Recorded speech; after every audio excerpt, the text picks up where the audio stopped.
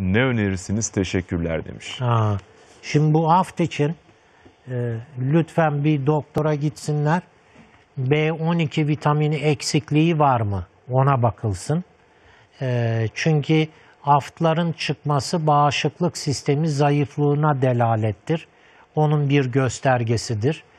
Bağışıklık sisteminde yani B12 eksikliği ne karşı ne yapabilirsiniz? Eğer B12'si eksikse lütfen lütfen lahana turşusu yedirin. Daha e, birkaç gün önce birisi geldi. Bakıyorum. Yahu dedim sizin şey birkaç soru sordu bana. İyi dedim bakayım. B12'si ne kadar dedim çok yüksek bu. Siz dedim lahana turşusu sev çok severim hocam siz de anlattınız ya. BO dedim çok yüksek.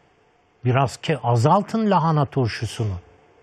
Yani en iyi ilaçtır B12'ye lahana turşusu. Sadece lahana turşusu.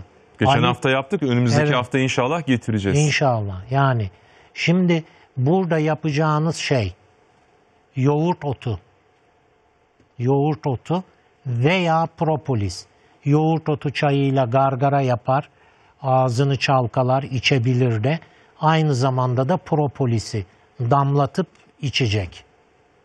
Ee, yarım bardak suda 10-15 damla. Hem ağzında tutsun ondan sonra yutsun. Evelallah birebirdir.